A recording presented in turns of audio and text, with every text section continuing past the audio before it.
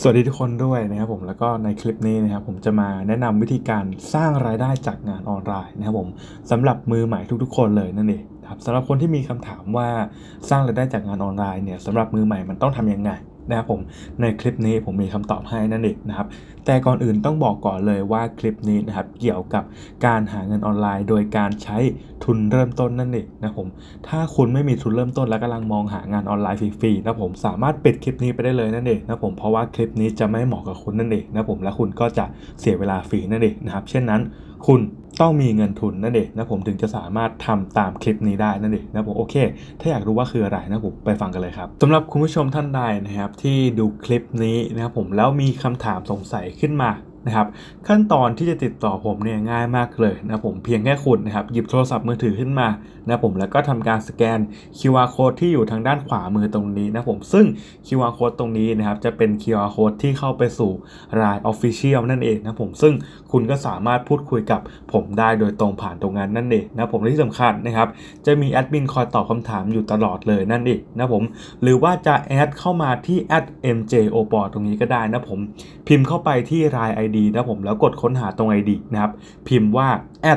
MJ o p o นะผมมีแอดด้วยนะผมแล้วก็กดค้นหามาได้เลยนะผมหรือว่าถ้าไม่เจอนะผมก็แอด639 DFSGW นั่นเอง นะครับผมส่วนอีกหนึ่งช่องทางในการติดต่อนะผมเผื่อว่าติดต่อรายแอดไม่ได้นะผมช่องทางนี้นะผมก็จะเป็นช่องทางผ่าน Facebook นั่นเองนะผมแต่ต้องบอกก่อนเลยว่าช่องทางนี้นะครับผมจะไม่ใช้แล้วนั่นเองนะผมเพราะว่ามีเฟซบอมค่อนข้างเยอะนั่นเองนะผมทำให้ผมเนี่ยต้องย้ายไปใช้ในส่วนของ Line Official นั่นเองนะผมหรือว่า Line แอดนั่นเองนะครับผมก็ Facebook นี้นะผมสามารถพิมพ์เข้ามาได้เลยนะหรือว่าจะกดที่ลิงก์ด้านล่างก็ได้นั่นเองนะผมพิมพ์เข้ามาแล้วนะผมแล้วก็เช็คดูดีด้วยนะผมว่าเฟซจริงนะครับ ต้องมีผู้ติดตาม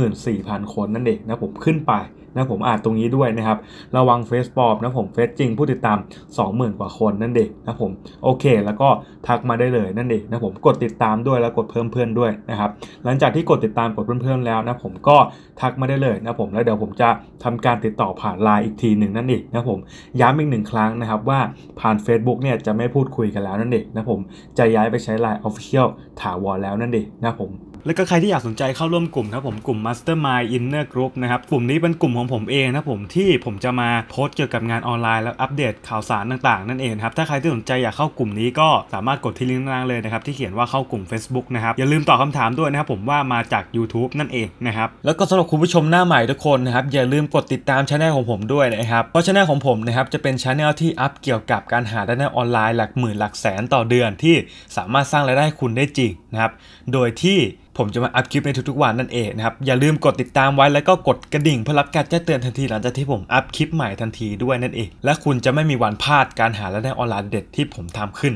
นั่นเองนะครับ กดติดตามและกดกระดิ่งด้วยนะครับ ขอบคุณครับ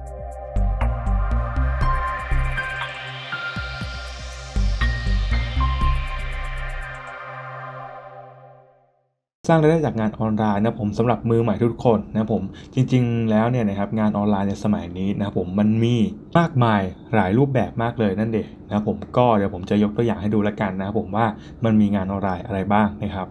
ที่เราเห็นกันอยู่ตรงนี้นะผมวันนี้ก็เป็นเพียงแค่ตัวอย่าง เล็กๆน้อยๆนะผมเกี่ยวกับงานออนไลน์นะจริงๆ แล้วงานออนไลน์เนี่ยมันมีมากมายหลากหลายรูปแบบมากเลยนั่นเองนะผมแต่ผมจะตัวอย่างให้ดูสัก 5 อย่างละกันนะผมแต่ว่าจะไม่เจาะลึกนะผมจะเจาะลึกไปแค่บางอย่างนั่นเองนะผมก็อย่างแรกเลยนะครับ อันดับหนึ่งก็คือยูทูบเบอร์นั่นเองนะผมยูทูบเบอร์ก็คือรู้กันดีอยู่แล้วนะผมว่าก็คือคนที่ทำคลิปลง YouTube นั่นเองนะผมแล้วก็มีคนติดตามนะผมเพิ่มมีคนติดตามแล้วเนี่ยก็จะมีคนดูคลิปนะผมมีสปอนเซอร์เข้ามานะครับได้รายได้จากโฆษณาของ YouTube นะผมตรงนี้นะผมก็คือสามารถสร้างรายได้จากออนไลน์ได้นั่นเองนะผมก็เลยนับเป็นหนึ่งในงานออนไลน์นั่นเองนะผมที่ผมเอามาขึ้นอันดับหนึ่งเลยนะผมก็เพราะว่ามันเป็นงานที่ผมทำมา อันดับแรกเลยนั่นเองนะผมงานตรงนี้เนี่ยเป็นงานที่บางส่วนที่ผมเคยทำมาแล้ว แล้วก็เป็นบางส่วนที่ผมยังไม่เคยทำนั่นเองนะครับก็อันที่ 2 ก็คือบล็อกเกอร์นะผมอันนี้ก็คือจะเป็นบล็อกเกี่ยวกับการเขียนพวกรีวิวอะไรแบบนี้นั่นเองนะผมเขียนรีวิวแล้วก็อาจจะเป็นโฆษณาขายของไปในบล็อกอะไรแบบนั้นนะผมแล้วก็จะได้ค่าคอมมิชชั่นจากการขายของนั่นเองนะผมอย่างที่บอกว่าผมจะไม่ลงรายละเอียดดีเทลเยอะนะผมแค่ให้คุณได้ทราบว่ามันคืออะไรนะมันมีช่องทางแบบไหนบ้างนั่นเอง นะผมอันที่ 3 ก็คือ affiliate marketer นั่นเองนะผมซึ่งงานนี้นะครับเป็นงานที่ผมเคยทำมาก่อนนั่นเองนะผมงาน affiliate marketer คืออะไรนะผม affiliate marketer เนี่ยก็คือเราจะต้องทำการ marketing ในส่วนของ affiliate นั่นเองนะผมก็คือเราจะต้องทำการขายสินค้าให้กับคนอื่นนั่นเองนะผมยกตัวอย่างเช่นนะผมคุณมีสินค้าหนึ่งอย่างนะครับและคุณไม่รู้ว่าจะต้องขายยังไงนะครับ ผมก็จะทำการตลาดให้คุณนั่นเองนะครับแล้วก็ได้ส่วนแบ่งจากที่ขายได้นั่นเอง ครับสมมติคุณขายของราคา 100นะครับผมแล้วก็ให้ผมเนี่ยไปขายต่อในราคา 110 บาทนะครับถ้าผมขายได้ผมจะได้ส่วนแบ่ง 10 บาทนั่นเองนะครับนี่คือการยกตัวอย่างง่ายๆ เกี่ยวกับ affiliate marketer นะครับแต่เพียงแต่ว่ามันเป็นสินค้าที่อยู่ในออนไลน์ก็ได้นะผมหรือจะเป็นสินค้าที่จับต้องได้ในชีวิตจริงก็ได้นั่นเองนะครับผมทุกอย่างที่เป็นการมีตัวแทนสินค้าไปขายนะผมเรียกว่า affiliate marketer นั่นเอง ถ้าจะยกตัวอย่างง่าย ๆ ก็อีกหนึ่งตัวอย่างก็คือยกตัวอย่างเช่นมีเว็บไซต์หนึ่งนะครับผมแล้วเราสนใจที่จะขายของจากเว็บไซต์นั้นเนี่ยนะครับผมเราก็สามารถสมัครเป็น affiliate จากเว็บไซต์นั้นได้นะครับแล้วเราก็นำสินค้าของเว็บนั้นเนี่ยไปขายนั่นเองนะครับเมื่อขายได้เราก็จะได้ส่วนแบ่งนั่นเองนะครับเรียกว่า affiliate marketer นะครับส่วนอันต่อมานะครับผมก็คือ copywriter นั่นเองนะผมอันนี้นะครับก็คือ ผมจะอธิบายยังไงดีนะครับถ้าเป็นถ้าเปลี่ยนเป็นภาษาไทยนะผมอธิบายง่ายๆก็คือเกี่ยวกับพวกเราเขียนโฆษณาอะไรแบบนี้นะผมอย่างเช่นคุณมีโฆษณานะครับ ไม่ใช่คุณนะผมมีบริษัทหนึ่งนะครับมีโฆษณา แต่ว่าโฆษณาเนี้ยเนี่ยให้ผลตอบแทนที่ไม่ค่อยดีเท่าไหร่นะผมขายไม่ค่อยได้นะผมแล้วคุณเนี่ยมีสกิลในการเขียนนั่นเองนะครับคุณก็ไปติดต่อบริษัทนั้น แล้วขอว่าอ่าสนใจที่จะเป็น copywriter ให้นะผมก็คือคุณจะไปแก้ไขโฆษณาของเขาให้นั่นเองนะผมไปแก้ไขคำพูดของเขา ไปปรับปรุงให้คำพูดของเขาเนี่ยมันดีขึ้นนะผมแบบนี้นะครับแล้วพอปรับปรุงแล้วเนี่ยเขาก็สามารถขายได้ขายได้ดีขึ้นอะไรแบบนี้นะผมก็นี่นะครับเรียกว่า copywriter นั่นเองนะผมซึ่ง copywriter ถามว่าเป็นงานออนไลน์ยังไงนะเพราะว่าจริงๆ แล้วตอนนี้เนี่ย copywriter ในออนไลน์เนี่ยมันก็สามารถทำเงินได้มหาศาลเลยนั่นเองนะผมเพียงแต่ว่ามีคนแค่ไม่กี่คนเท่านั้นนะผมที่รู้ว่ามันสามารถทำเงินได้ขนาดนี้นะครับจริง ๆ แล้วทุกวันในชีวิตของเรานะครับเราเห็นเกี่ยวกับพวก copywriter เนี่ยเยอะมากเลยนั่นเองนะผมไม่ว่าจะเป็นลองขับรถออกไปนะผมก็เจอแล้วนะครับ copywriter อย่างเช่นเป็นพวกอ่าบิลบอร์ดอะไรแบบนี้นะผมที่ติดอยู่นะครับอ่าโบชัวอะไรแบบนี้ก็ต้องใช้ copywriter ในการแก้ไขพวกอ่าโฆษณาข้อความให้มันดีขึ้นนั่นเองนะผมคุณสามารถทำตรงนี้ออนไลน์ได้เหมือนกันนะผมอย่างเช่น sale page ที่อยู่ในเว็บไซต์ออนไลน์นะผมคุณก็ติดต่อเขาไปนะครับแล้วบอกว่าต้องการที่จะแก้ไขให้มันดีขึ้นนะผมโดยไม่เสียเงินสักบาทเลยนะผมติดต่อเขาไปแล้วก็ลองแก้ไขให้ดูถ้าเขาขายได้ดีขึ้นนะผมก็ส่วนแบ่งกันอะไรแบบนี้นั่นเอง นะครับส่วนอันที่5นะผมอันนี้ไปไวหน่อยนะผมอันที่5เนี่ยก็คือ trading นั่นเองนะผมซึ่งตรงนี้นะครับเป็นสิ่งที่ผมทำอยู่ณตอนนี้นั่นเองนะผมต้องบอกว่าที่ผมเคยทำมานะผมก็มีอันที่ 1 อันที่ 2 อันที่ 3 และการที่ 5 นั่นเองนะผมส่วน copywriter เนี่ยผมยังไม่เคยทำเพราะว่าผมยังไม่มีสกิลมากพอในการที่จะไปเขียนคำโฆษณาให้มันชักจูงอะไรแบบนี้ได้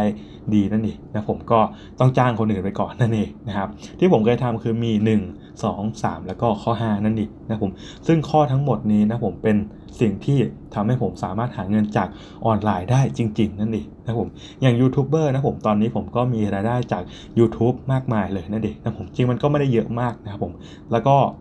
บล็อกเกอร์อันนี้ก็เคยทำแต่ว่าตอนนี้ก็เลิกทำไปแล้วนั่นเองนะผมส่วน Affiliate Marketer เนี่ยนะผมก็คือยังทำอยู่บ้างแล้วผมถ้าเจอเว็บไซต์ไหนที่มันน่าสนใจก็จะทำนั่นเองนะผมส่วนอันที่5เนี่ยก็คือ trading นะผมซึ่งเดี๋ยวผมจะมาลงลึกรายละเอียดเกี่ยวกับการ trading นั่นเองนะผมเพราะว่า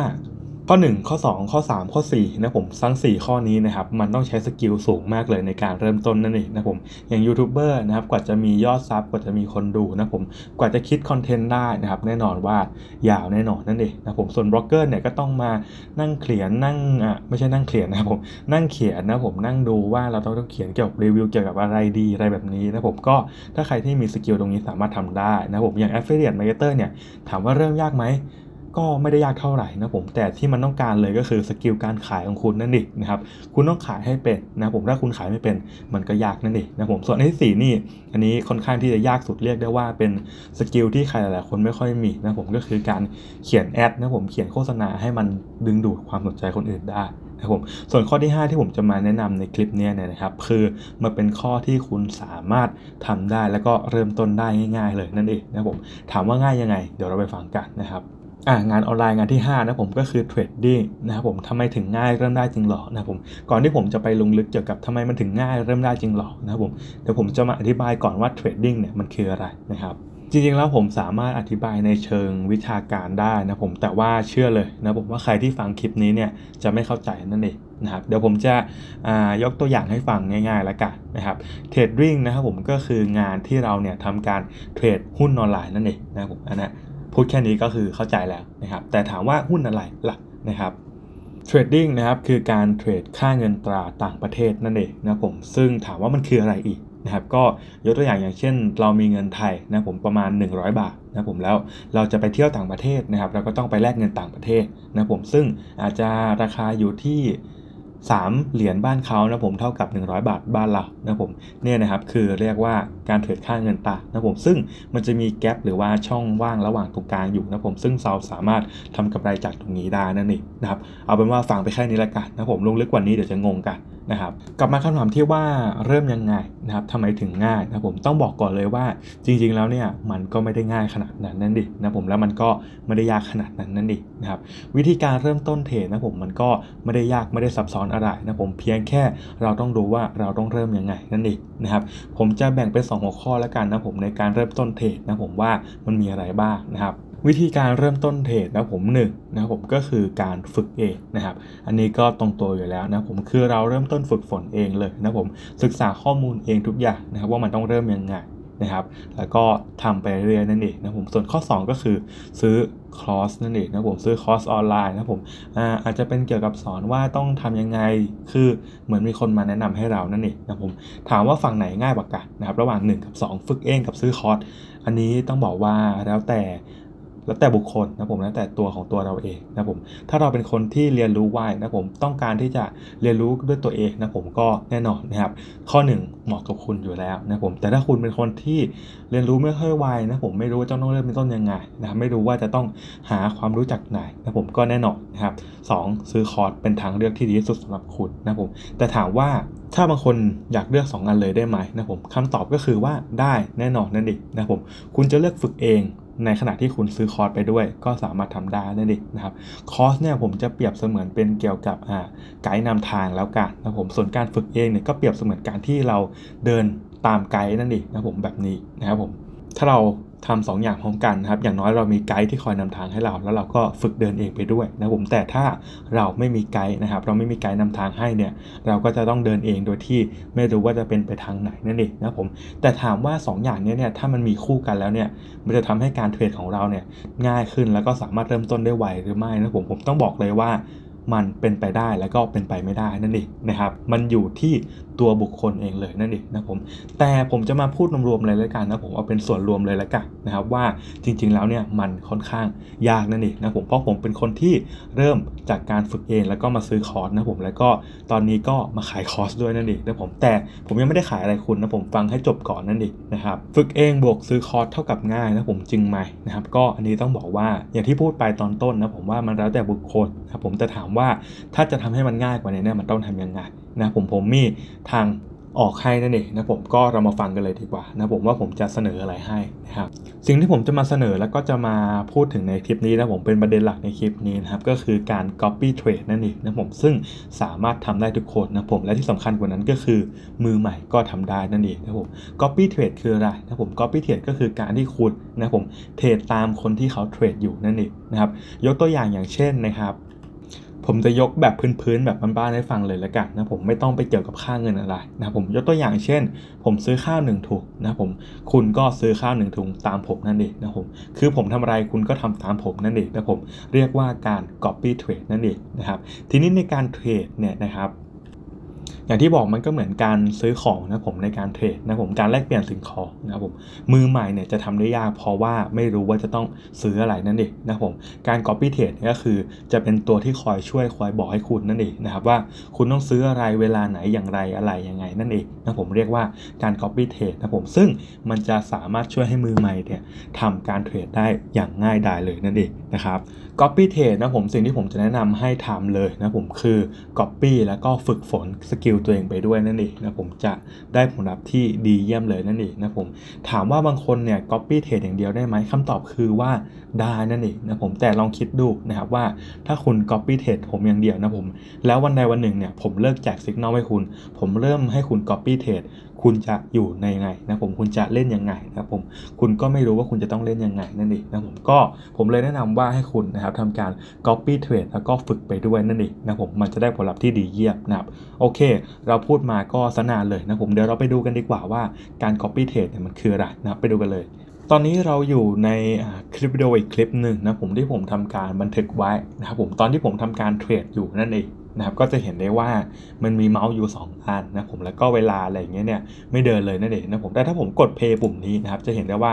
เมาส์มันก็ขยับอยู่นะผมแล้วก็เวลาตรงนี้ก็เดินปกติเลยนั่นเองนะอย่างที่บอกว่ามันเป็นคลิปวิดีโอแยกนะผมซึ่งผมจะสามารถทำอะไรก็ได้นะผมจะกดเพย์จะกดหยุดจะกดอะไรก็ได้นั่นเองนะครับทีนี้เรามาอธิบายตรงหน้าจอกันตรงนี้กันนะครับว่ามันคืออะไรนะครับตรงฝั่งซ้ายมือตรงที่เมาส์ผมวนๆอยู่ตรงนี้นะผมอันนี้เขาเรียกว่า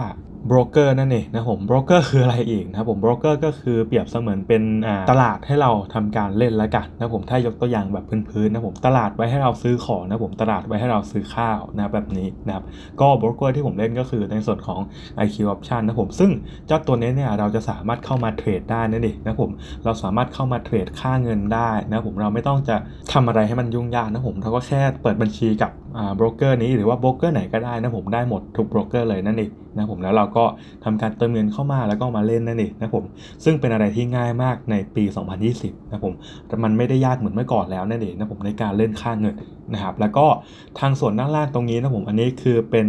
แอปที่ผมไว้ทำการแจกสัญญาณให้นั่นเองนะผมเป็นแอปที่ผมไว้ทำการดูกราฟนะผมในขณะที่ผมทำการแจกสัญญาณนะครับผมส่วนขวามืออันนี้ก็เห็นได้ชัดอยู่แล้วนะครับว่าเป็นกลุ่มพูดคุยนั่นเองนะผมมีคนอยู่ประมาณ 80 กว่าคนนั่นเองนะผมคือกลุ่มเก่าเนี่ยนะครับมันมีประมาณ 200 คน แต่ว่าผมก็ย้ายมากลุ่มใหม่นะผมเพราะว่าจะได้เปิดพื้นที่กับคนอื่นด้วยนั่นเองคือบางคนอยู่ในกลุ่มนั้นแล้วก็ไม่ได้เล่นมาเป็นปี 2 ปีอะไรแบบนี้นะผมผมก็เลยย้ายกลุ่มมากลุ่มนี้แทนนั่นเองนะครับทำให้มีสมาชิกตอนนี้อยู่ประมาณ 80-90 คน นั่นเองนะผมก็ณวันที่อัดอยู่เนี่ย80กว่ากว่านะผมแต่ว่าณตอนนี้เนี่ยขึ้นไป 90 กว่าคนแล้วนั่นเองนะผมก็กลุ่มนี้เติบโตไวมากเลยนั่นเองนะผมถามว่าเติบโตไวทำไมเดี๋ยวคุณได้รู้คำตอบแน่นอนนะผมว่าทำไม กลับมาเข้าเรื่องนะผมอย่างที่บอกว่าขวามือเนี่ยคือแอปพูดคุยนะผมก็ถามว่าไว้ทำอะไรนะครับแน่นอนไว้แจกสัญญาณนั่นเองนะผมไว้พูดคุยไว้แจกสัญญาณนะผมเวลาผมแจกสัญญาณนะผมก็จะแจกแบบนี้นะครับอย่างเช่นคู่เงิน USD JPY นะผมคออะไรแบบนี้นะผมก็หมายความว่าไงนะครับหมายความว่าให้คุณทำการเล่นคู่เงิน USD JPY นะผมแล้วก็กดคอคือกดสีเขียวขึ้นไปแบบนี้นั่นเองนะครับผมอ่าอาจจะไม่เห็นภาพกันเดี๋ยวผมขออนุญาตเปิดอีกคลิปหนึ่งแล้วกันครับช่วงนี้นะผมจับตาดูตรงนี้ให้ดีนะผมผมพิมพ์ว่า GBP CD นะผมคอนั่นเองนะผมแล้วผมก็เปิดคู่เงินนี้อยู่นะครับหมายความว่าไงหมายความว่าให้คุณทำการคอเข้าไปนั่นเองนะครับผมคือให้คุณทำการกดสีเขียวนั่นเองนะผมก็ถ้ากดสีเขียวคุณก็ทำการซื้อขึ้นนั่นเองนะครับอันนี้ผมก็บอกให้คนในกลุ่มว่าเตรียมตัวเล่นนั่นเองนะผมแล้วก็จะมีคนเตรียมตัวทำการกดสัญญาณนะครับ แล้วผมก็พิมพ์ในกลุ่มบอกว่าโกนั่นเองนะผมแล้วก็มีคำว่าแพ้ไปต่อโกนะผมก็คือให้เราทำการใช้มันในเกลคือทำการซื้ออีกรอบหนึ่งนั่นเองนะผมสมาชิกใหม่ทุกคนที่ไม่รู้จักการเทรดมาก่อนอาจจะฟังว่ามันดูยากนะผมแต่เชื่อผมเถอะนะครับว่ามัน ไม่ได้ยากอย่างที่คิดเลยนั่นเองนะครับแล้วเมื่อทำการซื้อแล้วนะผมวันนี้ผมเล่นสปีดวิดีโอมาเลยนะผมข้ามาเลยนะผมก็จะเห็นได้ว่ามีสมาชิกในกลุ่มหลาย ๆ ท่านนะผมพิมพ์มาว่า win win win win นั่นเองนะผมซึ่งหมายความว่าเขาทำการเทรดตามผมแล้วก็ชนะนั่นเองนะผมเห็นไหมครับ ขึ้นมารัว ๆ เลยนะผมเดี๋ยวผมก็กลับไปนิดนึงนะผมแค่เวลาแค่แป๊บเดียวนะผม win win ภายในเวลาแค่ 1 นาทีนะผมเนี่ยนะครับ win win win เด้งขึ้นมารัวๆแบบนี้เลยนั่นเองนะผมต้องบอกว่าทุกคนที่อยู่ในกลุ่มนี้นะผมเป็นคนจริงๆนั่นเองนะผมเป็นสมาชิกในกลุ่มจริงๆที่ทำการเทรดอยู่จริงๆนั่นเองนะผมแล้วก็ทำการเทรดชนะจริงๆ ได้กำไรจริงๆ นั่นเองนะครับอันนี้ก็เป็นอีกหนึ่งตัวอย่างนะผมอันนี้ผมเล่นเองด้วยนะผม Euro GBP Put Go นะครับอันนี้ผมทำการเข้าไปแล้วนั่นเองนะผมก็รอดูนะครับว่ามันจะเป็นยังไงขออนุญาตเร่ง speed วิดีโอนะครับ โอเคนะผมก็ตามนี้เลยนะครับอันนี้คือผม win เลยนั่นเองนะผมก็ มีหลายท่านที่พิมพ์มาว่า win win win win นั่นเองนะครับจะเห็นได้ว่าที่ผมเล่นตรงนี้เนี่ยเป็นบัญชีจริงนั่นเองนะครับแล้วก็ท่านอื่นก็พิมพ์มานะผมว่า win win win นะผม win ไม้ 2 อะไรแบบนี้นั่นเองนะครับผมนะครับ win ไม้ 2 win 1 ไม้นะครับผมนี่คือสมาชิกที่เขาทำการ win ในกลุ่มนั่นเองนะผมคือเทรดตามผมเลยนั่นเองนะจะเห็นได้ว่าผมก็เทรดไปด้วยในขณะที่แจก sig ไปด้วยนั่นเองที่ดูเมื่อสักครู่นี้นะผมเป็นผลลัพธ์บางส่วนเท่านั้นนะผมถ้าอยากดูติดตามมากกว่านี้ก็สามารถดูคลิปก่อนหน้านี้ได้เลย หรือว่าจะดูคลิปใหม่ก็ได้นั่นเองนะผมส่วนถามว่าถ้าสนใจเข้ากลุ่ม Signal เนี่ยต้องทำยังไงนะครับ เราไปฟังกันครับ ทีนี้มาตอบคำถามนะครับว่าอยากเข้ากลุ่มเนี่ยต้องทำยังไงนะผม ตอนแรกนะครับผมกะว่าจะเป็นแบบว่าเปิดให้เข้าฟรีก่อนนั่นเองนะผมแต่พอดีว่ามีคนเข้าฟรีมาแล้วเนี่ยจะมีพวกที่แบบว่าเข้ามาก่อกวนนั่นเองนะผมผมเลยต้องทำการคิดเงินนั่นเองนะผมต้องขออภัยด้วยนะผมว่าถ้าใครที่ฟังมาจนถึงตอนนี้แล้วนะผมแล้วอยากจะปิดคลิปนี้หนีพอได้ยินเขาว่าคิดเงินนะผมต้องขอโทษด้วยนั่นเองนะครับแต่อยากจะให้ฟังเหตุผลแล้วก็ให้เข้าใจกันก่อนนั่นเองนะผมว่าทุกสัญญาณที่แจกในกลุ่มนี้นะผมก็มีทีมงานของผมนะครับที่คอยทำการแจกให้อยู่แล้วนั่นเองนะผมซึ่งตรงนี้นะครับผมก็ต้องทำการจ่ายเงินให้ทีมงานเขาด้วยนั่นเองนะครับผมก็หวังว่าจะเข้าใจกันนะผมเพราะว่างานตรงนี้เนี่ยไม่ใช่งานฟรีๆนะผมผมเคยแจกให้ฟรีแล้วนะผมแล้วก็อย่างที่บอกว่ามีคนเข้ามาก่อกวนเข้ามาสร้างความวุ่นวายนั่นเองนะผมก็อยากจะให้เห็นใจกันตรงนี้ด้วยนั่นเองนะผมผมจึงตัดสินใจที่จะคิดเงินขึ้นมานะผมเพราะว่าอย่างน้อยนะครับก็เป็นการคัดกรองคนเบื้องต้นนั่นเองนะผมว่าคนที่เข้ามาเนี่ยเขาพร้อมที่จะทำการเทรดจริงๆนะนะครับเขาพร้อมที่จะเข้ามาประสบความสำเร็จจริงๆนะนะครับไม่ใช่เข้ามาเพื่อที่จะก่อกวน เข้ามาเพื่อที่จะสร้างความวุ่นวายให้กับกลุ่มนั่นเองนะผมอย่างน้อยก็เป็นการคัดกรองคนเบื้องต้นนั่นเองนะครับผมซึ่งเข้ากลุ่มนะผมถามว่าต้องทำอย่างไรนะผมก็ง่ายมากเลยนั่นเองนะครับ เข้ากลุ่มตอนนี้นะผมราคาอยู่ที่ 3,970 บาทนั่นเองนะผมอยู่ได้ถาวรนะครับ บางคนอาจจะบอกว่า อุ๊ย ราคาแพงไปหรือเปล่านะผม 3,970 บาท ผมต้องบอกก่อนตรงนี้เลยว่าไม่แพงเลยนะผมถ้าเทียบกับสิ่งที่คุณจะได้นะครับ สิ่งที่คุณจะได้นะผมก็อย่างที่บอกไปตอนต้นนะครับ สิ่งที่จะได้รับนะผมหลังจากทำการซื้อไปเนี่ยนะผมก็คือ เข้ากลุ่มแจก sig นั่นเองนะผมซึ่งกลุ่มนี้นะผมก็อัตรา win rate อยู่ที่ 99%อย่างที่ผมได้โชว์ไปให้ดูแล้วนั่นเองนะผม signal นะผมก็คือตั้งแต่วันจันทร์ถึงวันศุกร์นั่นเองนะผมอีกหนึ่งอย่างที่คุณจะรับก็คือเข้ากลุ่มพูดคุยนั่นเองนะผมซึ่งเป็นกลุ่มที่จะพูดคุยแลกเปลี่ยนความรู้เกี่ยวกับการเทรดเต้าตัวของ binary option นั่นเองนะผมแล้วข้อสุดท้ายซึ่งเป็นข้อที่พิเศษมากๆเลยก็คือ รับข้อเสนอดีๆ ก่อนใครนั่นเองนะผมคือหมายความว่ายังไง หมายความว่าทุกครั้งที่มีโปรโมชั่นดีๆขึ้นมานะผมผมก็จะทำการแจกให้ในกลุ่มก่อนที่จะทำการส่งสร้างคลิปวิดีโอขึ้นมา แล้วก็ทำการแชร์ลงไปนั่นเองนะผมอย่างที่บอกนะครับว่าถ้าเทียบกับสิ่งที่ได้นะผมแล้วก็เทียบกับราคานะผมถามว่ามันแพงไหมคำตอบคือว่ามันไม่ได้แพงเลยนั่นเองนะผมเพราะผมถามตรงๆเลยนะครับมีใครบ้างที่สามารถทำการอัตรา win rate ให้คุณได้อยู่ที่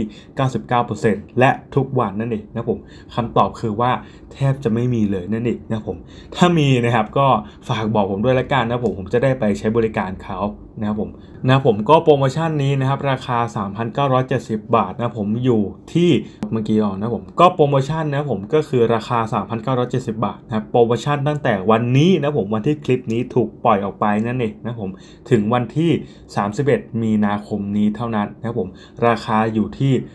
3,970 บาทนั่นเองนะผมหลังจากหมดวันที่ 31 มีนาคมแล้วนะครับราคาเนี่ยจะไปอยู่ที่ 5,970 บาทนั่นเองนะผมเพราะเช่นนั้นนะครับก็รีบๆทำการสมัครเข้ามานั่นเองนะผมราคาตอนนี้นะครับอย่างที่บอกนะครับวันนี้ถึง 31 มีนาคมนี้นะครับจากราคาที่จะขึ้นไป 5,970 บาทนะผมราคาจะเหลืออยู่ที่ 3,970 บาท เท่านั้นเองนะผมเพราะเช่นนั้นอย่างที่บอกรีบๆซื้อนะผมก่อนที่จะหมดโปรโมชั่นนี้นะครับโปรโมชั่นนี้หมดแล้วหมดเลยนั่นเองนะผมหมดแล้วหมดเลย นะครับผมราคาถูกลงมา 2,000นะครับถ้าคุณไม่มั่นใจนะผมก็สามารถติดตามคลิปต่อๆไปก่อนก็ได้นะผมหรือว่าจะรอ จนถึงวันที่ 31 มีนาคมแล้วค่อยซื้อก็ได้นั่นเองนะผมอันนี้แล้วแต่เลยนะครับแต่ว่าต้องบอกก่อนเลยว่าตอนนี้ในกลุ่มเนี่ยมีอยู่ประมาณ 200 กว่าคนแล้วนั่นเองนะผมและทุกคนนะผมก็ทำกำไรได้นั่นเองนะครับอย่าช้านะผมรีบๆนะผมวันนี้ถึงวันที่ 31 มีนาคมนี้เท่านั้นนะครับราคาอยู่ที่ 3,970 บาทนั่นเองนะครับผม ถ้าใครที่สนใจทำการสั่งซื้อนะผมก็หยิบโทรศัพท์มือถือของคุณขึ้นมานะผมแล้วทำการสแกน QR code ที่อยู่ทางด้านขวามือของคุณนะผมแล้วก็ทำการทักมาได้เลยนั่นเองนะผมว่าสนใจเข้ากลุ่ม Signal IQ Option นั่นเองนะผมหรือจะ add มาที่ @mjop ก็ได้นะผม ID นะผม @mjop นะผมมีแอดด้วยนั่นเองนะครับ อย่างที่บอกนะครับ ถ้าใครสนใจนะผมรีบๆ ทักไลน์แอดมาเลยนะผมพร้อมกับพิมพ์คำว่าสนใจ SIG IQ นั่นเองนะผมพิมพ์คำนี้มาเลยนะผม keyword นี้เลยนะครับ สนใจ SIG IQ นะผมแล้วผมจะทำการตอบให้นั่นเองสแกน QR Code ตามนี้นะผมหรือว่าจะแอด ID 2 ID กันนี้ก็ได้นะผมทักมาเลยนะครับคีย์เวิร์ดสนใจ SIG IQ นะผมและจะมีคนตอบกลับทันทีนั่นเองนะผมโอเค เราไปเจอกันใหม่คลิปหน้าครับ สวัสดีครับ